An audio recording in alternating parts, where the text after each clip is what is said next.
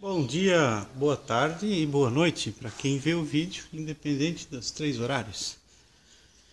Então, o que, que nós vamos estar falando hoje é sobre o meu Uno Fiat Premium e talvez até alguns Palio ou qualquer outro carro serve também, mas hoje vamos falar especificamente de um Fiat Premium anos 90. O que nós vamos estar falando hoje é sobre meu carro não quer engatar as marchas, o arranha segunda e a terceira, carros que tem muita folga na alavanca de marcha.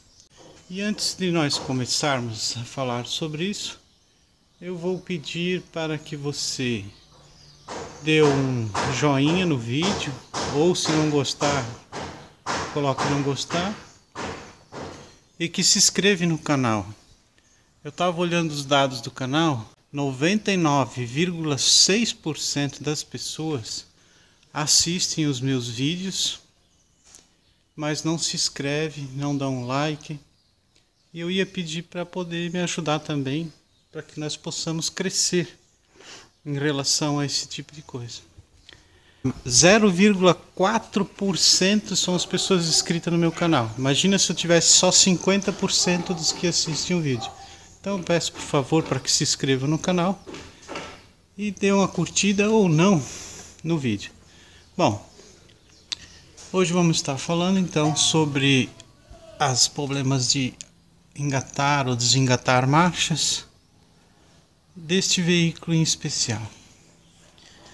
Como pode ver, existem trambuladores que fazem a opção de você estar selecionando a marcha que você quer. Aqui nós temos um vazamentozinho, claro, mas esta seria a chave seletora do câmbio. Ela se movimenta para os lados para frente e para trás, selecionando cada marcha. Mas antes de chegar nessa haste seletora, tem um monte de escamoteações. Elas têm várias partes. Chega a ter embuchamento aqui, aqui, aqui, vários embuchamentos. Esses embuchamentos também vêm nessa haste. O nosso problema nesse carro em específico estava essa parte do embuchamento estourado, que por sua vez vai ligado um negócio que se chama trambulador. Isto e aqui, ó. E como podem ver, tem uma folga considerável atrapalhando qualquer tipo de tentativa de conseguir engatar uma marcha. Vem um kit de reparo para esse tipo de coisa. Olha só, o que que vem neste kit aqui? Esta aqui seria o tipo de bucha. Vamos ver se vai dar para dar uma focada. É, a câmera não é muito boa, né? Mas dá para nós ter uma noção. Olha só, ele é um orifício essa bucha aqui é prensada ali dentro.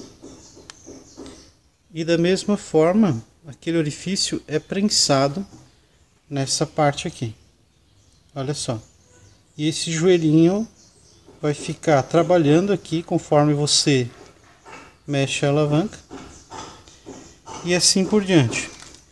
Tem outras partes móveis de todo esse conjunto que tem enrolamento. Então vem um kit completo. Eu vou estar tá até mostrando aqui, ó, para ficar mais fácil. Eu já usei várias vezes. Aqui está o kit, a marca, né? Se o teu carro tiver ruim de trocar marcha, dá uma olhada no kit de reparo de trambulador, de marcha e de outras coisas mais que os problemas estarão ali. É claro que tipo, após você ter feito todos os reparos possíveis, olha só. Aqui dentro tem um rola, aquela parte do rolamento. Ó. Esses rolamentos estouram. Aqui vai ligado aquela outra alavanca. É um conjunto de coisas. Aqui também tem rolamento, ali já é a alavanca da marcha. Essa borracha já estava estourada, mas tem que trocar. É, é isso aí. Tá ruim para engatar a segunda e terceira? Dá uma olhada em todos os embuchamentos da parte da alavanca de marcha até no tram. Mas valeu galera, é isso aí. Obrigado pela atenção. Também estaremos trocando o suporte do motor. A pessoa é bem zelosa, pediu para trocar o suporte do motor que estava meio ruim. Suporte de caixa, aliás, faz parte.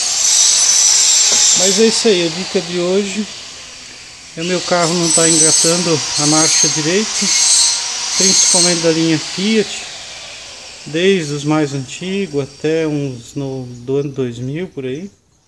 Dá uma olhada nesse esquema de trambulação que tá ali os problemas. Se você arrumar e não sair o problema, é que tá lá dentro da caixa mesmo daí. Valeu, pessoal.